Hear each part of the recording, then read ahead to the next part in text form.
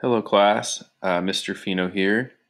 This is Chapter 2, Section 3 Beginnings of Agriculture. We have two main ideas here in this section. The first is that the first farmers learned to grow plants and raise animals in the Stone Age.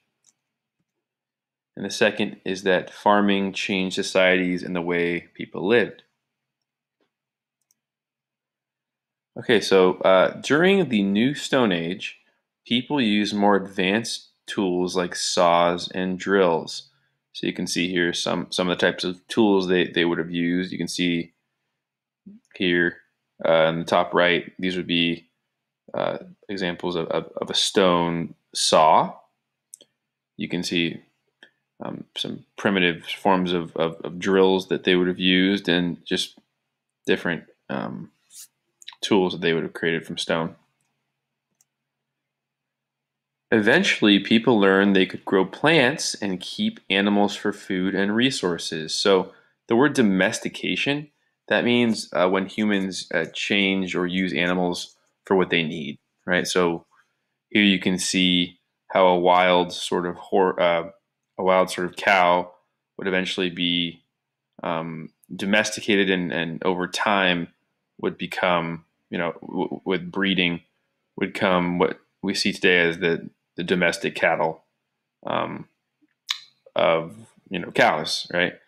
And agriculture is just another word for farming, right? So again, they could grow plants and keep animals for food and resources. So here are some, here's a kind of timeline that shows when the different animals were domesticated. So you can see Probably the first domesticated animal would be the wolf, which is over here.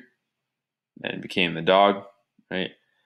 You can see goats and sheep and then cows, um, pigs, and you know some of the later animals domesticated would be. I mean, this is way 1959, super recent, but during the ancient period, um, rabbits and camels would be a little bit later. Uh, most historians believe agriculture began in Southwest Asia, which is today it's the Middle East. So if you look at these map here, this uh, these maps here, this is a map of the Middle East, all, all the countries there, um, and then over here, this is the Fertile Crescent, which we're going to learn about in the next chapter on Mesopotamia. But it was just a, an area of land that was super fertile, based off of these two rivers, uh, the Tigris and Euphrates rivers, that created super fertile or uh, land that grew plants really well. Um, they use animals for things like milk, wool, food, and carrying large things. So you can see, right, cows for milk. You could also get milk from goats and um, eggs from chickens, right, wool from from sheep, and then larger animals like camels or or, or cows to pull things. Um, a megalith is um, an early sort of um, structure that often had a religious meaning. So this is a, a famous megalith in Scotland, uh, in England, or it's in Great Britain, and it's it's um, it looks like this. Okay, it's it's called Stonehenge, and we'll at some point we'll watch a video on this.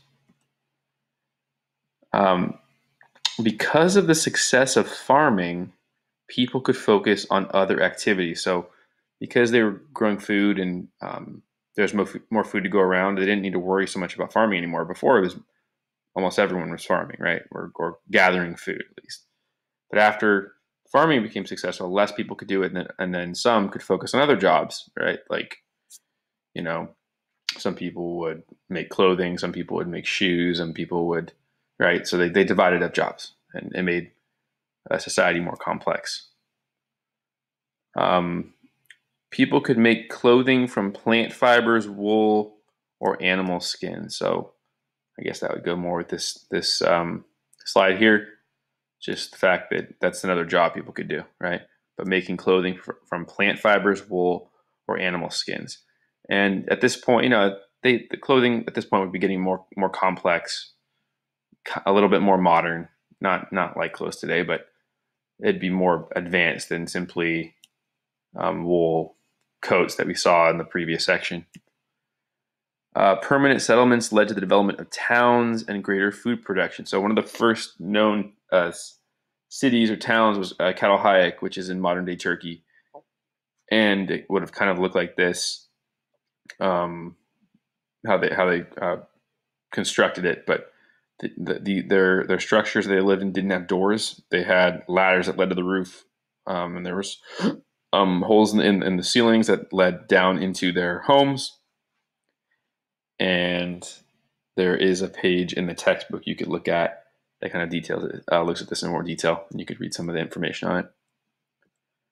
Uh, they developed religion based on elemental gods or goddesses and animals. So, um, you know, gods based on animals, gods based on things like rain or fire, or, um, you know, the elements.